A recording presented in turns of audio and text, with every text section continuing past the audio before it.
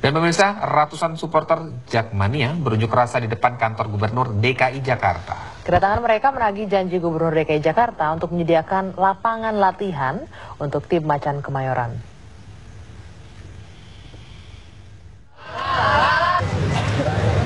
Karena kecewa dengan prestasi Persija di Liga Super Indonesia, ratusan pendukung Persija yang dikenal Jackmania ini mendatangi kantor Gubernur DKI Jakarta di Balai Kota Jakarta Pusat.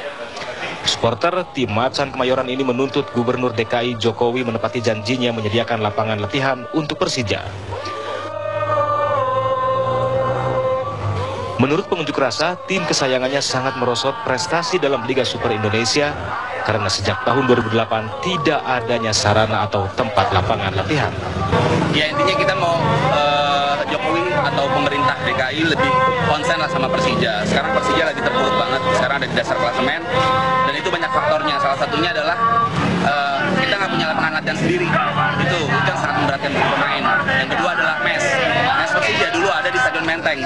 Sebelum 2000 eh, setelah 2005 itu dirampok sama Pemda zamannya Setioso dibangun Taman Menteng. Sekarang nggak ada nggak ada gantinya lagi.